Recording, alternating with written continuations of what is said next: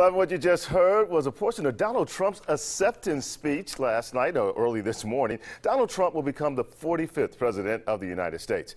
Now we want to take a look at a few of the judicial races in our area. Three of the circuit court judge races in Jefferson County just neck and neck.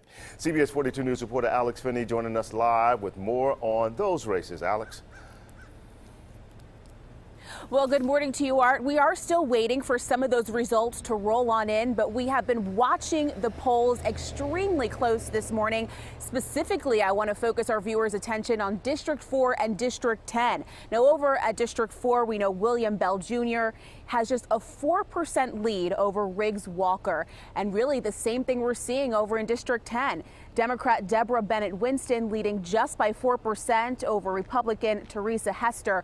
We know that 76% of precincts have reported for those races.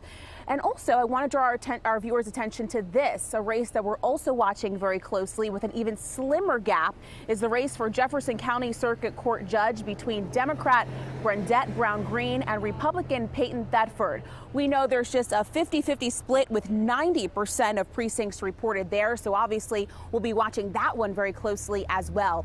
Coming back out live this morning, in the next half hour, we are going to be speaking with Jefferson County Bessemer District Attorney candidate Lynneice Washington, asking her questions about what she would do if she were to take office. Of course, we know she's running against Bill Veitch, a very, very tight gap there as well. We'll be talking with her, so be sure to join us. For now, live in Bessemer, Alex Finney, CBS 42 News.